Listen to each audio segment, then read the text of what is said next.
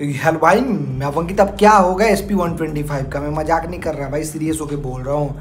भाई S P one twenty five का हाल ख़राब होने वाला है। इवन एस पी का ही नहीं साइन का भी रेडर का भी इवन पल्सर का भी एक्सट्रीम ग्लैमर सुपर स्प्लेंडर सबका हाल ख़राब कर सकती है एक बाइक जो हाल फ़िलहाल में लॉन्च हुई है। अब वो कौन सी बाइक है? वो तो आपको वीडियो देखने के बाद ही पता चलेगा, इसीलिए भाई वीडियो को स्किप मत करना एंड तक देखना चैनल पर नहीं हो तो सब्सक्राइब कर देना, और भाई लाइक भी कर देना, काफ़ी मज़ेदार वीडियो होने वाला है। बताऊँ कौन सी है वो बाइक वो है भाई रिवोल्ट की आर बी वन जो हाल फ़िलहाल में लॉन्च हुई है। अभी बहुत भाइयों को पता होगा, लेकिन बहुत भाइयों को नहीं भी पता होगा। ये एक इलेक्ट्रिक कम्यूटर बाइक है भाई।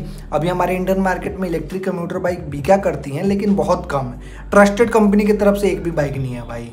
ओला वालों ने शोकेस करा था, लेकिन वो कम्यूटर बाइक नहीं है भाई। वो थोड़ी स्पोर्टियर टाइप की है।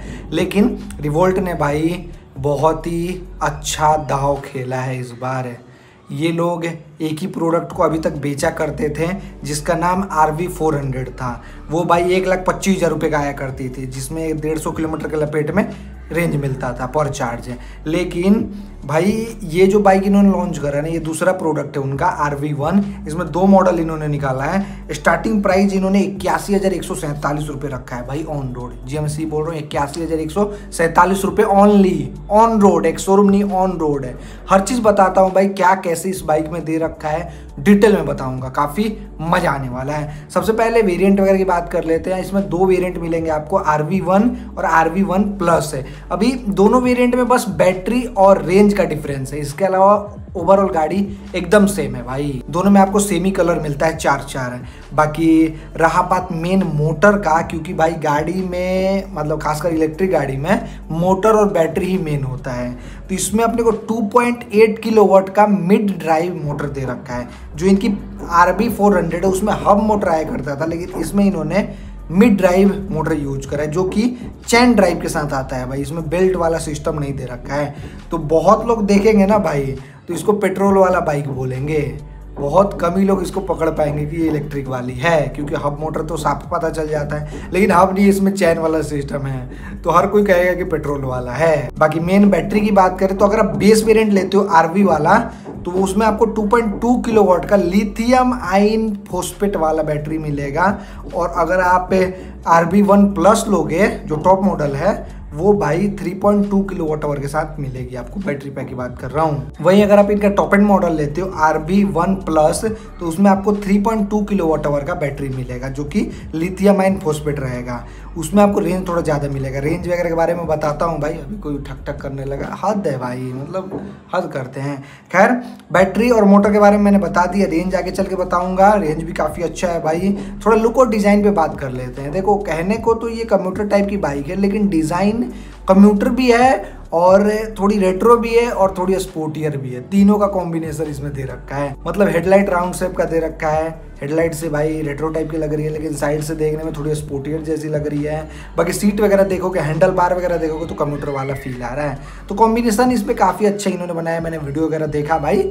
तो लोग बाग बैठ के दिखा रहे थे तो काफ़ी मतलब कंफर्टेबल टाइप की है। सिटी विटी में चलाने में काफ़ी ये गाड़ी मज़ा देने वाली है अपने को। अभी रेंज वगैरह की बात करें तो इसमें आपको बेस वेरिएंट में 100 किलोमीटर का रेंज मिलेगा। कंपनी ऐसा कह रही है इको मोड भी इसमें तीन मोड है भाई। तो सबसे धीरे वाले मोड में चलाओगे तो 100 किलोमीटर का रेंज मिला। कंपनी कह रही है मतलब मान के चलो 60 किलोमीटर तक चल जाएगी।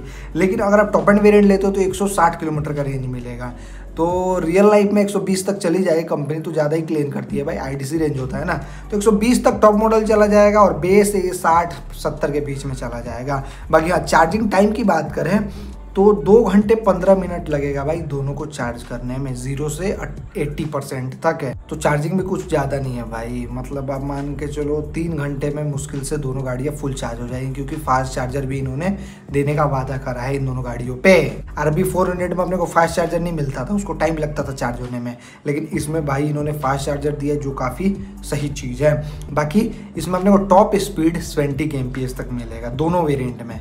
किसी में भेदभाव नहीं करा है टॉप स्पीड के मामले में। तो सेवेंटी कम है भाई, लेकिन अगर कम्यूटिंग के हिसाब से देखा जाए तो कुछ कम नहीं कह सकते हैं। बाकी रहा सस्पेंशन वगैरह का तो इसमें टेलीस्कोपिक सस्पेंशन दे रखा है फ्रंट में, जबकि आर वी फोर हंड्रेड में यूएसडी आता था। वो महँगी थी, इसको सस्ता बनाने के लिए इन्होंने टेलीस्कोपिक दिया है भाई। इसमें ड्यूल स्प्रिंग दे रखा है रियर में आपको। बाकी टायर इसमें काफ़ी अच्छा दे रखा है ninety by eighty seventeen front में 90 सेक्शन का दे रखा है। कम्यूटर गाड़ी में एस पी फेस में 80 सेक्शन का आता है। रियर में 110 सेक्शन का टायर दे रखा है, जो आपको भाई रेडर में भी नहीं मिलता और पल्सर में भी नहीं मिलता और एसपी में भी नहीं मिलता। सब में हंड्रेड सेक्शन का आता है। बाकी ब्रेक की बात करते हो तो इसके फ्रंट में भी दो सौ चालीस का डिस्क ब्रेक दे रखा है और रियर में भी डिस्क ब्रेक दे रखा है। कंप्यूटर सेगमेंट में पहली बार अपने को रियर में डिस्क ब्रेक मिला है भाई, इसी गाड़ी में। नहीं तो कोई भी कंपनी नहीं देती पेट्रोल वाली भी नहीं देती। तो दो सौ चालीस का डिस्क ब्रेक दे रखा है, आगे पीछे। बाकी एबीएस वगैरह नहीं मिलेगा कॉम्बी ब्रेकिंग सिस्टम का सेटअप दे रखा है। बाकी हाँ रहा बात फीचर्स वगैरह का तो इसमें ऑल एलईडी का सेटअप दे रखा है। बूट स्पेस आपको थोड़ा सा मिल जाएगा सीट के नीचे, ज़्यादा नहीं, थोड़ा सा दे रखा है। चार्जर वगैरह कैरी कर सकते हो। इसके अलावा फुल डिजिटल मीटर कंसोल दे रखा है, जिसमें बेसिक फीचर्स है भाई। Mobile connectivity turn by turn navigation वगैरह नहीं है। यूएसबी शायद आपको टॉप मॉडल में मिल सकता है, लेकिन बेस वेरियंट में मेरे हिसाब से नहीं दे रखा है। इसके अलावा मीटर कंसोल के फीचर्स की बात करें तो battery temperature time speed mode और बेसिक सारा फीचर्स मिल जाता है। लेकिन मेन चीज़ नहीं मिलता मोबाइल कनेक्टिविटी वगैरह, क्योंकि भाई प्राइस बहुत ही कम है ना। बाकी तीन मोड्स मिल जाएँगे इको नॉर्मल स्पोर्ट जो कि साइड में बटन दे रखा है, उसी से आप ऑपरेट करोगे। इसके अलावा रिवर्स बटन भी दे रखा है इसमें। पीछे चक्का भी घुमा सकते हो। इसके अलावा इसमें आपको क्रूज कंट्रोल नहीं मिलता। टॉप एंड वेरिएंट और बेस वेरिएंट किसी में नहीं मिलता। बाकी रहा बात डायमेंशन का तो इस पर आप 250 किलो तक आदमी को बैठा सकते हो। मतलब 250 किलो वज़न आप इस पर रख सकते हो भाई, और रख के चला सकते हो। जबकि इनकी आर वी फोर हंड्रेड थी, उस पर मात्र आप डेढ़ सौ किलो तक ही लोडिंग कैपेसिटी कर सकते थे, लेकिन इस पर ढाई सौ किलो का दे रखा है। मतलब बोरा वोरा भाई जितना हो सके उतना ढो, कोई दिक्कत नहीं है। 108 किलो इसका वज़न है भाई बेस वेरिएंट का। इसके अलावा सात सौ नब्बे एम का सीट हाइट मिलता है, जो कि भाई बहुत ही बढ़िया है, पाँच फिट का बंदा आराम से चला सकता है। इसके अलावा वन एट्टी एम का ग्राउंड केस दे रखा है एसपी में एक सौ पैंसठ आता है भाई ग्लैमर में एक सौ अस्सी आता है।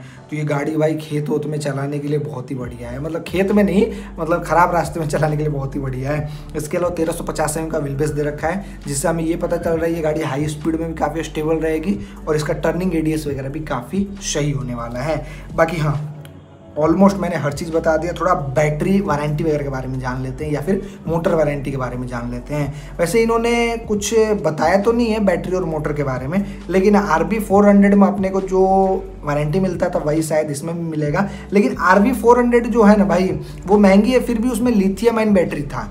लेकिन इसमें इन्होंने बैटरी भी बढ़िया डाला है और मोटर भी बढ़िया डाला है भाई। भले प्राइसिंग कम है, लेकिन बैटरी मोटर काफ़ी सही दे रखा है। इसमें अपने को वारंटी मिल सकता है तीन साढ़े तीन साल का और चालीस हज़ार किलोमीटर का। बैटरी का। लेकिन मोटर की बात करते हो तो पाँच साल का अपने को मोटर का शायद मिल सकता है। आर फोर हंड्रेड में यही मिलता है। बाकी मेन प्राइसिंग की बात कर लेते हैं तो इन्होंने बाइक चौरासी हज़ार नौ सौ नब्बे रुपये का बेस वेरियंट लॉन्च करा है, जिसमें आपको हंड्रेड किलोमीटर का रेंज मिलेगा। वहीं अगर आप टॉप मॉडल लेते हो तो उसका भाई प्राइजिंग इन्होंने रखा है निन्यानवे हज़ार नौ सौ नब्बे रुपये मतलब दोनों वेरियंट के प्राइजिंग में भाई पंद्रह हज़ार रुपये का डिफरेंस है मोटा मोटी एक शोरूम में। लेकिन हमारे यहाँ भाई ऑन रोड बेस वेरियंट का प्राइजिंग इक्यासी हज़ार एक सौ सैंतालीस रुपये शो हो रहा है, क्योंकि दस हज़ार अपने को सब्सिडी मिल जाएगा। तो इक्यासी हज़ार एक सौ सैंतालीस रुपये में बेस वेरिएंट साठ सत्तर किलोमीटर का रेंज मिलेगा बहुत ही प्यारा है भाई। लेकिन अगर आप टॉप मॉडल लेना चाहते हो तो वो भाई नब्बे हज़ार संतानवे रुपये के लपेट में अपने को शो हो रहा है। लेकिन प्राइजिंग निन्यानवे हज़ार नौ सौ नब्बे रुपये रखा है। दस हज़ार का अपने को सब्सिडी वगैरह मिल जा रहा है ना भाई। तो मान लो भाई, नब्बे हज़ार संतानवे रुपए के लपेट में टॉप मॉडल पड़ेगा। अब पता नहीं सो तो हो रहा है, लेकिन मिलेगा कि नहीं मिलेगा, इसके बारे में मेरे को जानकारी नहीं है। बाकी हाँ अगर इतने प्राइसिंग में मिलने लगे ना भाई तो मैं तो कहूँगा एस पी फेसबुक को छोड़ दो भाई, बहुत ही सही प्राइसिंग है यार। इक्यासी, बिरासी हज़ार रुपये में आज के रेट में क्या मिलता है भाई? फ़ोन मिलता है। और यहाँ पे आपको एक बाइक मिल रहा है, वो भी साठ सत्तर किलोमीटर रेंज वाली, एक बार चार्ज करोगे तो कितना खर्चा आएगा? दो से तीन यूनिट खर्चा आएगा भाई, उससे ज़्यादा नहीं आएगा। तो बहुत ही सही डील इन्होंने निकाला है भाई। ओला का भी प्राइजिंग इसी के लपेट में बेस मॉडल का, लेकिन भाई ओला का भी डिलीवर नहीं हो रहा है ना। देखते हैं भाई, जब मार्केट में आता है तो दोनों गाड़ियाँ कैसे एक दूसरे से लड़ाई करती हैं। लेकिन रिवोल्ट वालों का मेन टारगेट है भाई कंप्यूटर सेगमेंट की 125 सीसी बाइक क्योंकि भाई, जिस हिसाब से इन्होंने प्राइजिंग रखा है ना, उस हिसाब से यही पता चल रहा है कि ये लोग 125 सीसी को टारगेट कर रहे हैं। खैर भाई पेट्रोल बाइक चलाने का मज़ा अलग है इलेक्ट्रिक चलाने का मज़ा अलग है। जो पेट्रोल लवर हैं, वो भाई कभी इलेक्ट्रिक पे खुश नहीं रह सकते हैं। ये चीज़ है, लेकिन जो बचत करना चाहते हैं, उनके लिए तो भाई डेफिनेटली इलेक्ट्रिक बाइक बहुत ही बढ़िया है।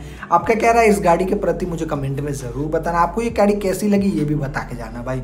मेरे को भी ठीक ठाक लगी, लेकिन लोग को डिज़ाइन उतना कुछ खास नहीं लगा भाई। सीट तो हालाँकि बड़ा दे रखा है, लेकिन कुछ खास नहीं लगा भाई। कुछ हट के बनाते, एकदम तगड़ा सा बनाते तो बात अलग रहता। लेकिन ठीक ठाक बना रखा आप कह सकते हैं। आई होप आप सभी को इस वाले वीडियो में सब चीज़ समझ आ गया होगा। कुछ भी डाउट हो, कुछ भी क्वेरी हो तो कमेंट सेक्शन खुला है भाई। बिंदास आप कमेंट करो। चलो वीडियो देखने के लिए आपका धन्यवाद। थैंक यू सो मच भाई। दिल से हिंद सभी को।